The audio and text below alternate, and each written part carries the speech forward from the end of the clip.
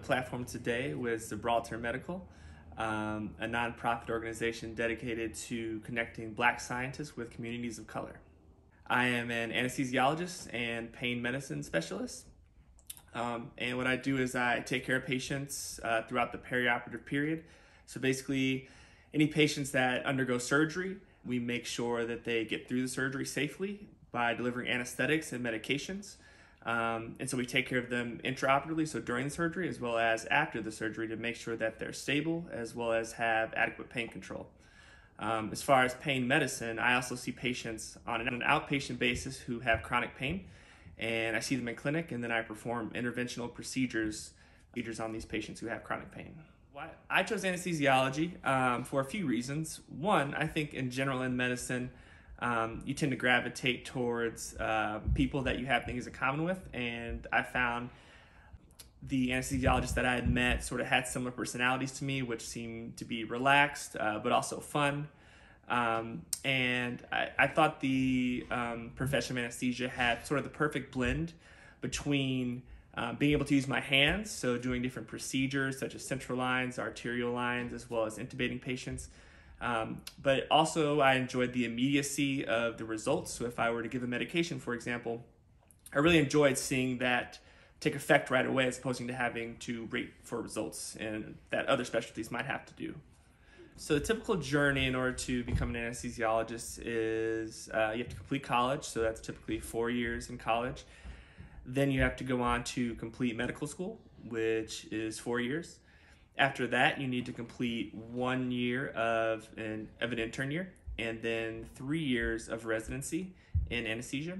And then you can go on and practice right away if you choose, or uh, you can do like me and do a one year fellowship.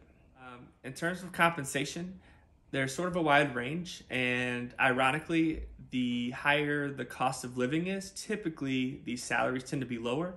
Um, but in general, anesthesiologists are pretty well compensated. The range is about 300,000 to about 500,000 per year. Um, and I'd say the highest range is probably about 350 to, to 400,000. So in terms of the percentage of uh, black doctors in anesthesiology, I think it's actually pretty representative of doctors in general. So I think about 5% of doctors in general are black. And I think that holds true for anesthesia as well. I think about 5% of anesthesiologists are also black. In terms of mentors, uh, I would say I don't really have a true mentor. Um, I have my parents who are both doctors, black doctors, um, and I sort of looked up to them, although times are a little bit different um, from when they trained to when I was training, so I couldn't look to them for all the answers. I think in terms of who I looked up to or asked questions to, I tended to rely mostly on classmates that were a year above me or a couple years above me that had gone through a similar process. Um, in particular, black um, people that were going into anesthesia, and then black people that were going into uh, chronic pain. So I sort of tended to lean on them and ask questions and what they did in order to be successful.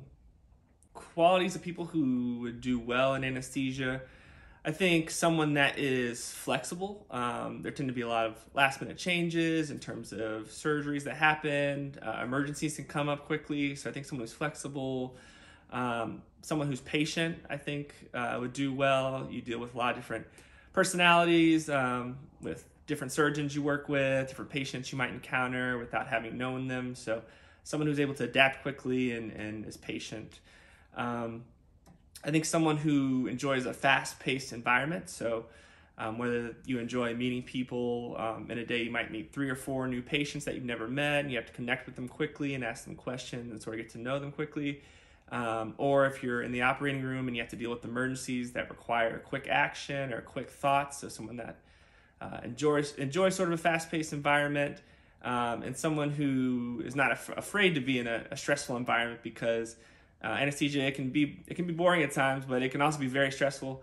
Um, so someone who's not afraid of, of being in a situation where they um, are called to act quickly. Um, so in terms of just advice and in general, in terms of the medical field or anesthesia in particular, I'd say the best way is to just reach out to different people um, and try to get a sense of what the profession is like um, because it's it's a great profession. I'm glad I did it. Um, it is a lot of work. It's a pretty big commitment. Um, so I think it's pretty important for you to do as much as you can, as much research as you can, um, to see if this is something that would be interesting to you. So whether that's reaching out to different hospitals and just seeing if you can shadow different doctors, or there's certainly different Facebook groups, um, such as the Young Black American Doctors Group, which has a lot of black doctors that are surely willing to reach out and help you and um, answer any questions you might have. So just reach out um, and see if it's right for you. Uh, thank you guys for watching. Um, I'm glad to have been on here and glad I could share a little bit about my field and tell you about it. If you're going off to college and interested in medicine, again, I would just say reach out, um, do as much research as you can. It's a great field to be in and we need more black doctors. And every time I meet a black patient, um, I can see their eyes light up a little bit differently than other patients. I think it's important um, to have more black doctors, more representation um, for better patient care. So, um, good luck to you guys, and I hope to see you in the future in the field.